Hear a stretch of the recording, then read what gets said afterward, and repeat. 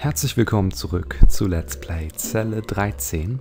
Wir sind hier im Gruseladen von Herrn Behring, der uns in der letzten Folge eine ganze Menge erzählt hat über Halloween und ja generell über schauer, schaurige Geschichten und ähm, alles rund um das Thema Grusel und Horror. Ähm, ja, und außerdem haben wir mit Klößchen erreicht, dass er vielleicht die Pralinen, die er die ganze Zeit unter das Volk bringt, äh, ins Sortiment aufnehmen will. Ja, das ist schon mal ein Erfolg. Was geschieht in der Nacht des 31. Oktober? Ich glaube, das haben wir eben gefragt, ne? Wer weiß? Einst machten die Christen große ja, Feuer. das haben wir gefragt. Ähm, ja, aber mit Karl und Tim haben wir noch eine ganze Menge offene Fragen. Und da kam bestimmt auch nochmal was Interessantes bei raus. Guten Tag. Guten Tag. Oh, wen haben wir denn da? Karl Vierstein. Ganz recht. Sie haben ein gutes Gedächtnis. Ah, okay, und wir haben auch mit Klößchen diesen Sarg hier nicht angeklickt. Die Tür hat David konstruiert. Mein Gehilfe. Ja, David, er, ihr erinnert euch, der junge Mann, der im Knast saß und auch im Unterricht uns besucht hat mit seinem Mentor. Oder mit seinem Lehrer. Na, reden wir mal mit Herrn Behring. Haben Sie einen besonderen Bezug zu Gefängnissen? Du meinst diese dunklen Gefilde staatlicher Obhut mit sadistischen Wärtern, Folterkellern und elektrischem Stuhl? Ich dachte eher an unseren Kulturkreis, nicht an Horrorfilme. Na gut, dann kehren wir nochmal mit Klößchen zurück und klicken nochmal die Sargtür an, die ähm, wer war das nochmal? Der junge Mann? Ach, ich werde es gleich erfahren. Gebaut hat. Ich würde dich ja durchlassen, aber David Genau, ist gerade so nicht da. David. Hat den Namen wieder vergessen. Das kann passieren. Haben Sie einen besonderen Bezug? Woher beziehen Sie Ihr Sortiment? Bei meiner Ware handelt es sich um Importe aus den USA, einheimische Handarbeit und Eigenkreationen. Dabei geht Qualität vor Quantität. Höchstqualitativer Trash ist ja auch mal was. Auf jeden Fall. So. Dann halt nochmal mit Tim in den Horrorladen. Und danach müssen wir wieder... Hallo, Herr Behring. Na, wer sagt's denn? Tim von TKKG. Lang ist's her, was? Wie du siehst, mich gibt's immer noch. Ja, und Ihr Laden scheint zu brummen. War das jetzt ironisch gemeint? Weil der Laden ist ja die ganze Zeit leer. Und hier liegt die ganze Zeit so ein, so ein Zettel, den würde ich am liebsten mitnehmen. Oder einfach nur aus dem Weg räumen. Das ist Privatbereich. Hm, schade. Wie macht sich denn Ihr neuer Gehilfe? David? Der Junge ist okay. Kaum zu glauben, dass er mal Ärger mit dem Gesetz hatte. Ich halte viel von seinen Fähigkeiten. Ich nehme an, Sie meinen nicht sein Talent als Autoknacker. Nee, das war nicht gemeint. Aber danke Tim für die Erinnerung daran, dass er ein Autoknacker ist. Ja, der scheint dem echt das nicht ähm, zu wünschen, dass er hier arbeitet. Der traut dem nicht, dem David.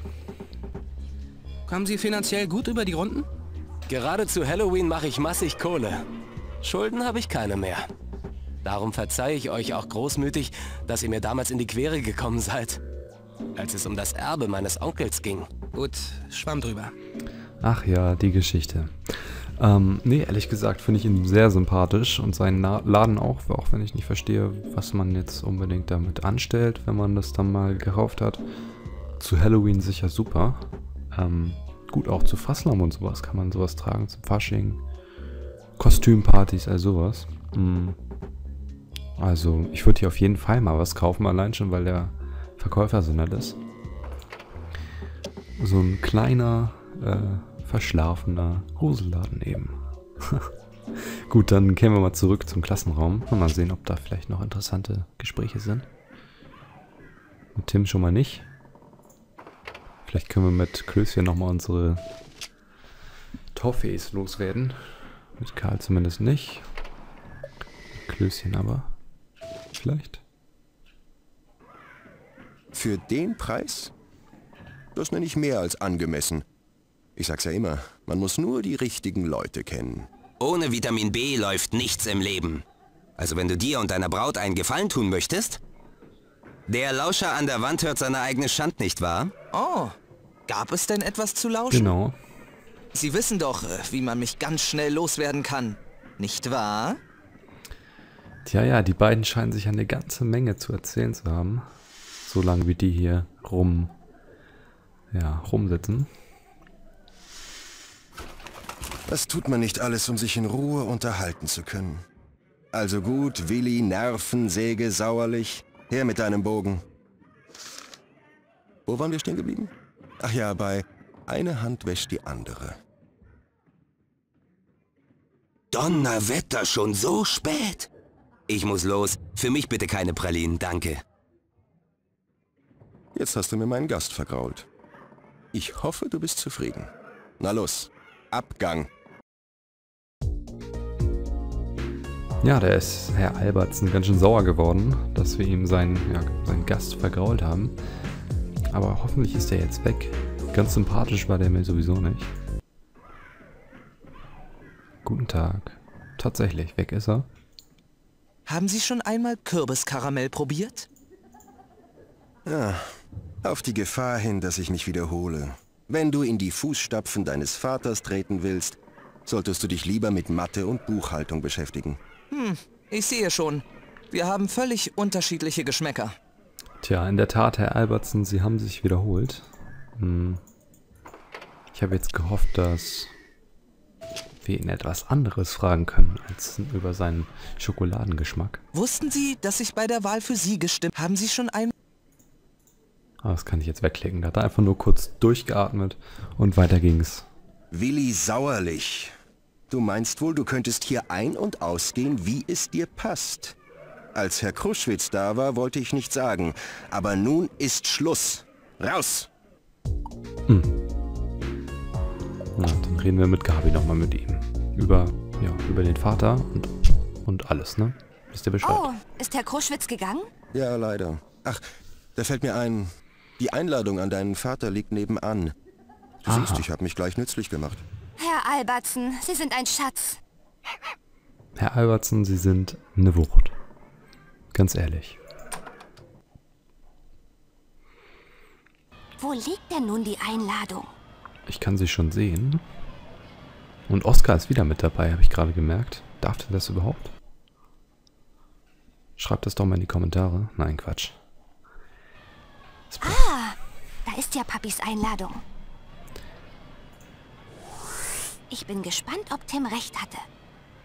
Was Also meinst du, Oscar?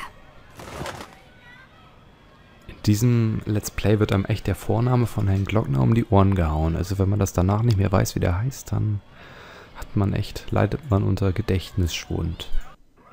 Wollen wir es mal so ausdrücken. Aber jetzt können wir ja zu unserem Papi hoffentlich. Und können uns auch durchsetzen. In dem Fall.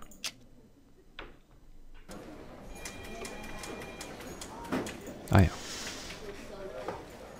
Nochmal den Fragebogen. Papi, ich habe hier etwas äh, von der Schule. Es betrifft mich, weil ich... ähm, Nun lies es selbst. Was denn?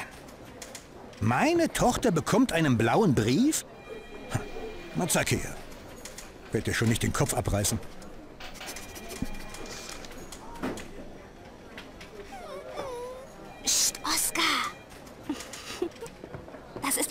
Offizielles.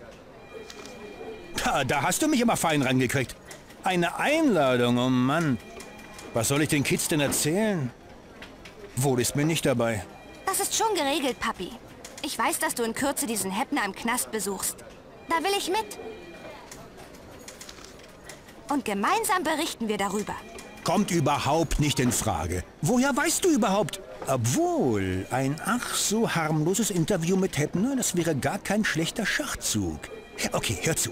Ich sage nicht ja, aber auch nicht nein. Ich muss erst die Unterlagen zu Heppner anfordern. Denk du dir ein paar Fragen aus, hm? Genau, für die Schülerzeitung. Papi, das wäre eine Wucht, wenn ich mit darf. Ehrlich, ich kann es kaum erwarten. Also, das klingt doch durchaus vielversprechend, was der Glockmonster gerade gesagt hat. Ah, okay, und jetzt können wir eine ganze Menge fragen.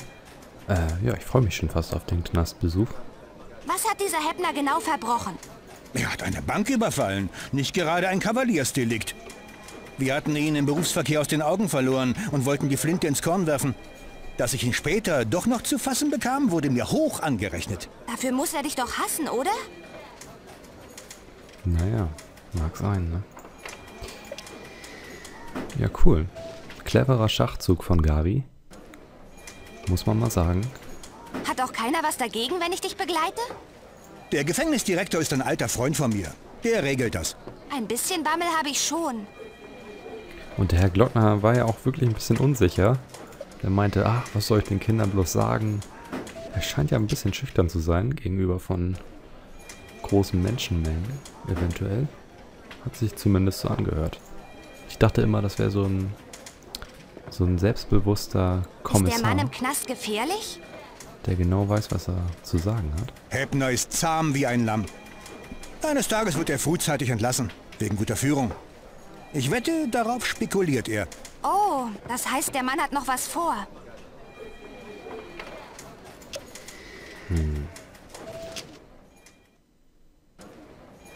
Ich habe mich gerade mal gefragt, ob ich euch fragen sollte, was euer Lieblingscharakter in den TKKG-Spielen und Hörspielen ist.